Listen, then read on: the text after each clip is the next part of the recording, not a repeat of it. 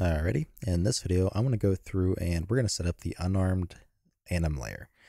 So basically, we want to, well, not do the full procedural logic when we're holding, you know, let me rephrase that. So when we lean left and right, we don't want to really have like a huge thing. Like I don't want to be bending all like this and stuff when we don't have a a held item to really correspond to why we would be in the first place. So we're going to go ahead and set that up really quick. And I did do a little bit of changing here to the folder. So inside a tutorial, we have an animation folder, which contain the interface and the man anim BP. Yeah, main anim BP. Then we have a folder for layers. So to begin, we're just going to copy and paste the layer. And I'm going to name this one tutorial layer unarmed. Open that up, open our layer, and we can delete everything except for this section. So all this and everything above it.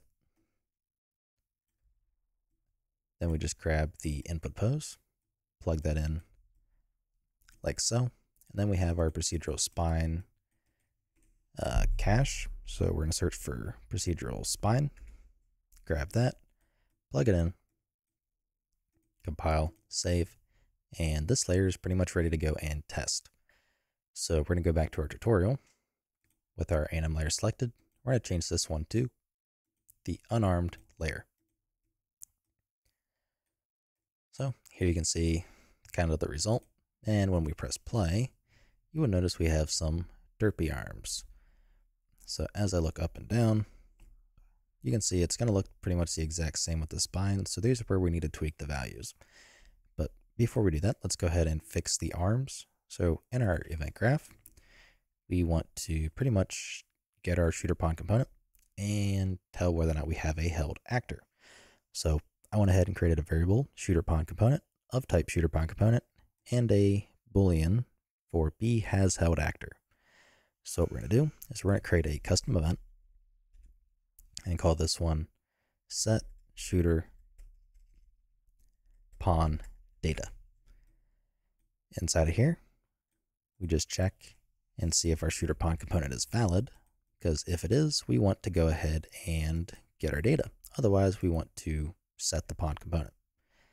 So in the case of it being invalid, we're going to get our pawn owner and search for get shooter pawn component. And from there, we can simply set it.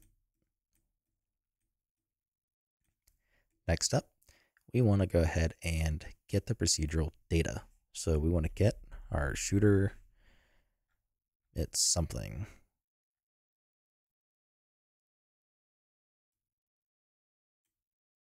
It's get something data. Get, no, let's get, crap.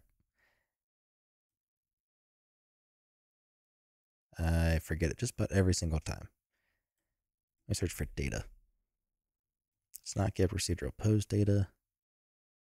Get procedural shooter pawn data. There it is. And we want to split it. So one of the things that it contains is a, well, a bool of if we have a held actor. So we're going to grab our boolean. We're going to set it to be shooter pawn has held actor. Likewise, we're going to go to here, and after the cast, we're going to go and do set shooter pawn data. They really made this as ugly as possible, didn't they? But we're going to go ahead and call our, call our function there, go into our anim graph, grab b has held actor, and plug it in like so. So now, when we move around, when we don't have anything, we basically, our arms are normal. Now we want to tweak how we actually look up and look down. So I want to look up with pretty much mostly the upper back and then neck and head. We don't have as many bones as I wish, but we have, well, enough. So for look up and down, we're going to do spine 03, neck, and head. Same exact thing here, spine three, neck, and head. So that's going to change how we look up and down. So if I look straight down, now we can see basically it's all in the head, neck and head. Look straight up likewise, and the leaning's all in the head. So we want to change that a little bit. So we want it to lean a little bit more with the spine. So we're going to do 0.2. So we're going to double that. And less with the head. So we'll do 0.65. Likewise, we need more movement with the spine. So we're going to try 0.2 as well. And I'm saying probably less with the head. So 3, 4, 5, so 0.5. Let's give that a try.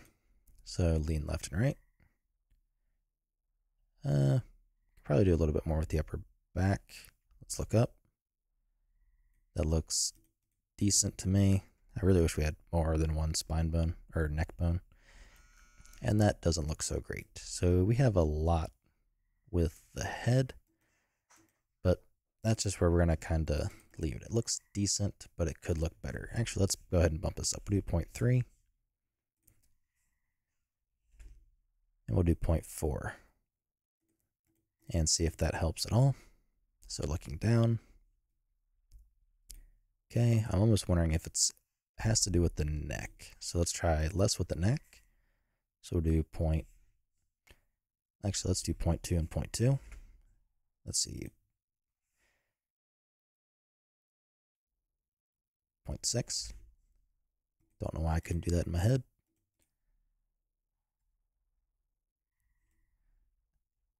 And I think that looks a little bit better. It's not as aggressive in the head.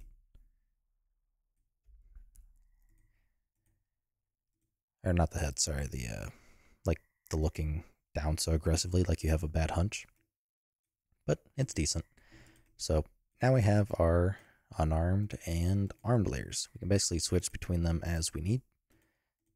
So this will do the normal it's got the uh, left hand IK enabled, so it's going to look a little bit goofy, but we have the different spines for looking up and down and all that kind of stuff. So we're basically ready to move forward. So we can set it up to where we equip and unequip, and then we start getting into the fun concept of the actual animations themselves. So I'll see you then.